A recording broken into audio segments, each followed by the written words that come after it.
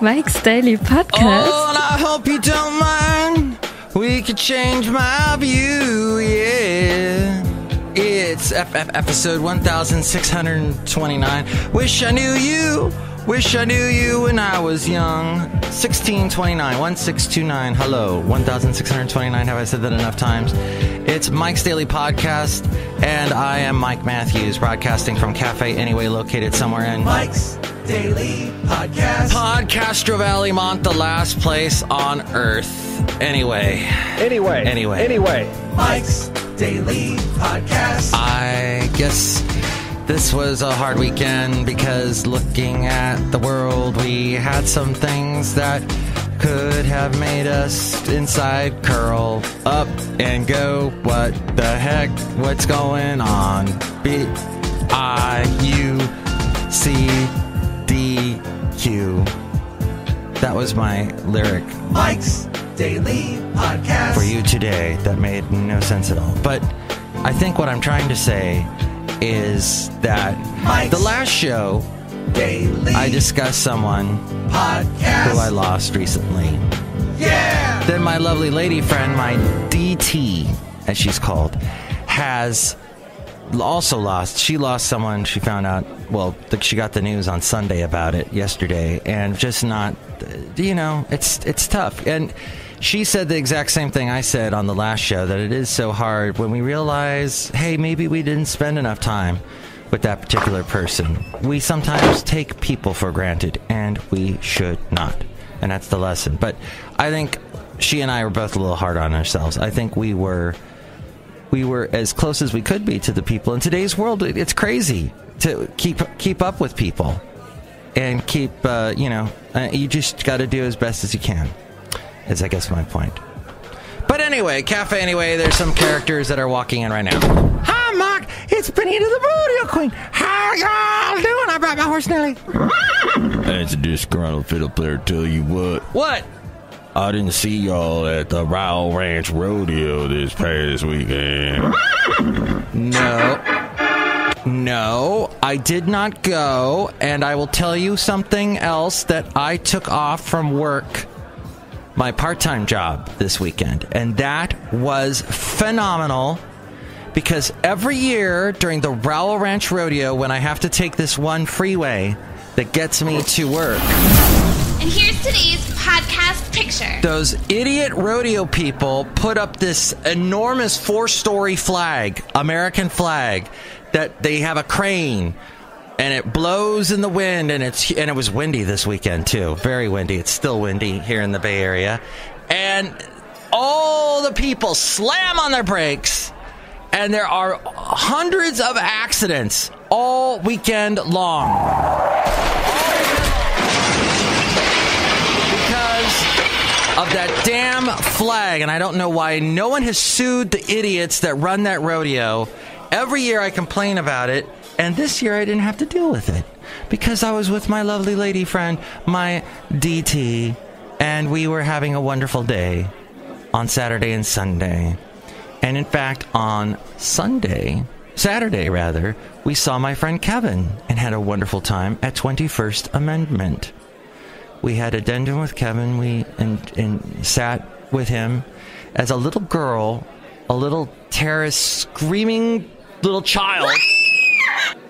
No, she didn't scream like that. She was a little girl though, and she was harassing my dog, Basil the boxer. We're trying.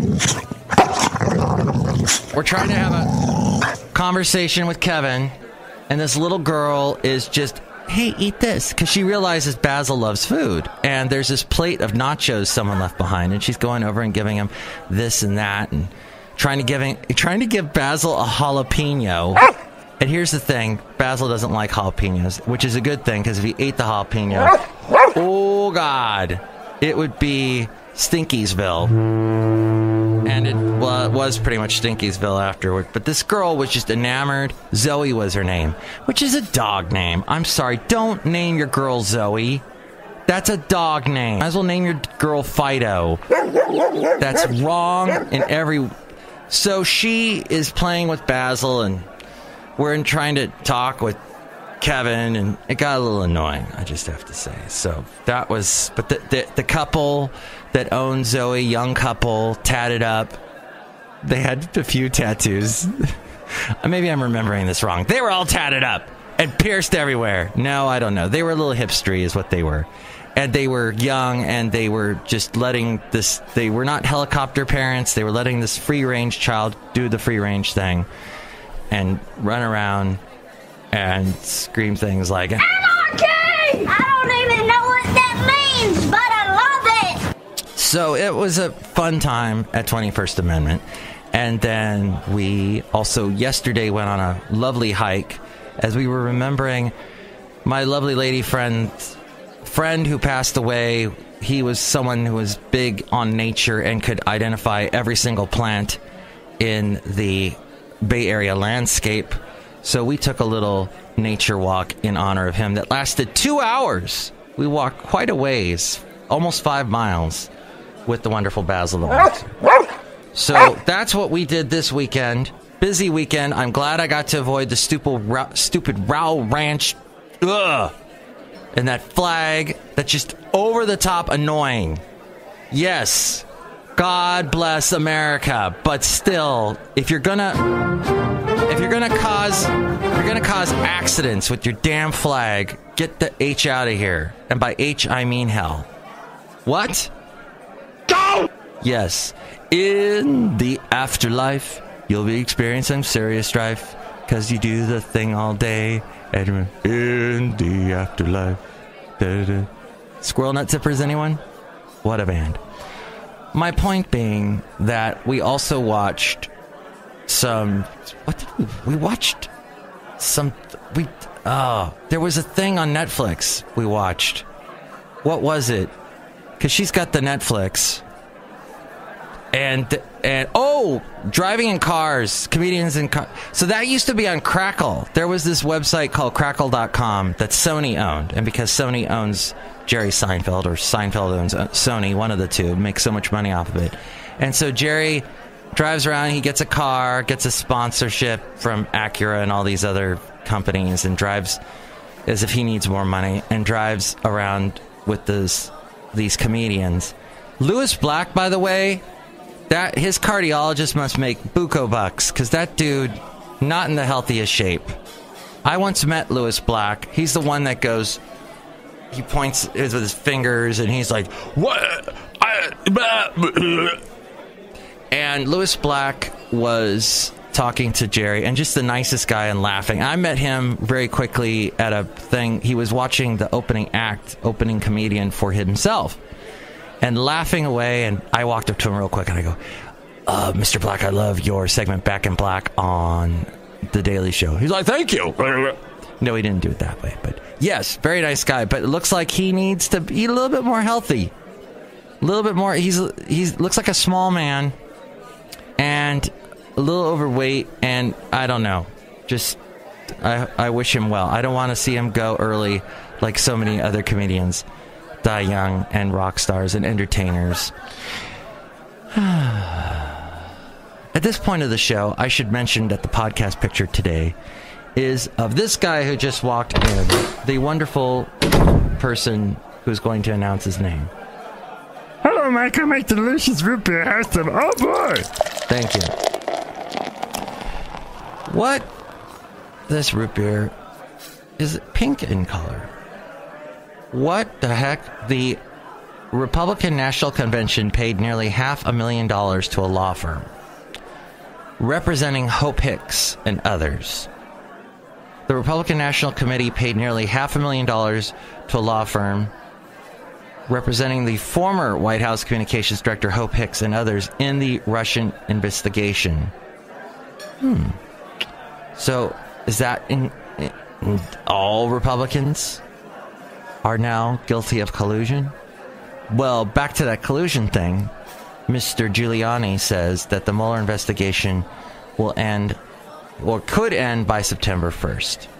Meanwhile, Pope Francis, he told a gay man, God made you like that and loves you like that. That is not going to sit well with many Catholics and fundamentalist Christians. It's going to be crazy. This may become a huge story, I'm imagining. A victim of clerical sexual abuse has said that Pope Francis told him that God made him gay and that his sexuality, quote, does not matter. His name is Juan Carlos Cruz. He spent three days with Pope Francis. Interesting. A 5.2 earthquake hit Mexico. Uh, it was felt in Mexico City. And the, lava has reached the Pacific from the Hawaii Kilauea volcano and pours into the ocean. And then there's all that steam. The first baby in 12 years was born on a remote island where births are banned. Tiny Fernando de Noronha doesn't authorize births because there is no maternity ward. Oh. It's a remote Brazilian island. So this is what I found out this weekend as I was talking with my lady friend, and that is the the DT that so I only watched the most recent lab, not labradoodles, sea doodles, which is about this guy who buys a sailboat. And well, I didn't watch all the early episodes that are on YouTube. And apparently, the first episodes were of him, just him and his dogs.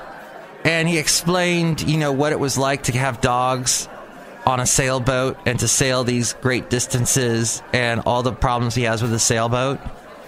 In the beginning, it was just him. And then somewhere at a dinner party is when he meets the girl that puts her boobs in the camera every and by boobs I mean a part of the female anatomy that half of my listeners will know very well and the other half may or may not know about. But God made us with uh, pretty much made us all with these. Anyway, I don't want to go too far into this explanation. Just suffice it to say, boobs, which is backwards spoob. Just so you didn't know that, I know you didn't know that, so I helped clarify. The thing is, I was that a good explanation? Hmm. What was that all about? The thing is, this girl walks around whenever she's on camera which is basically whenever we see her is when she's on camera, uh, in this bikini, pushing the cleavage up to the level 10 as much as she can. And she's all about being perky and bubbly in front of the camera. So he meets her, the guy that does this Sea Doodle show, at a dinner party. And then the show, well, every time they they post a, when you post a video on YouTube, you can customize the fingerprint, the fingerprint. I think is what they call it, the the main photo that people see as they're scanning through YouTube. And so, the host of the show, he likes to put pictures of her because it grabs your attention if you're a guy. Anyway, Cafe Anyway, DT watched all these early shows. Anyway. And she said it gets quite gratuitous once the girl shows up.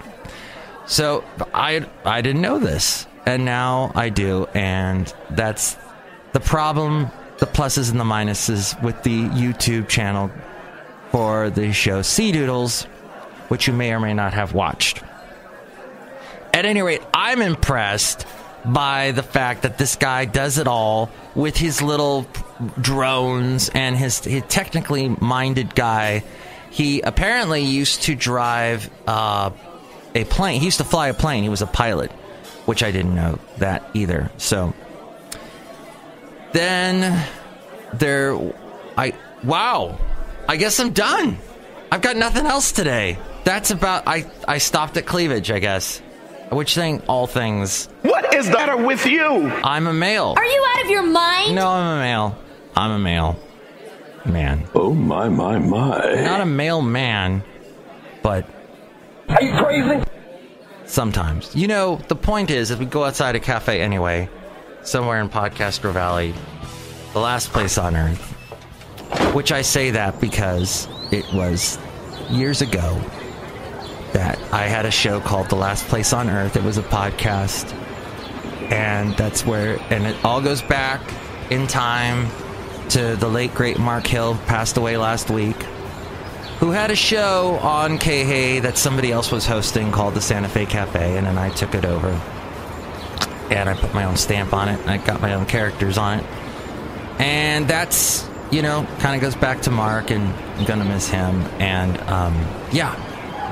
But somebody else posted, under the post that I did, that was a little tribute to Mark on Facebook, a guy I know from way back, Wade is his name, Wade, which is also a verb.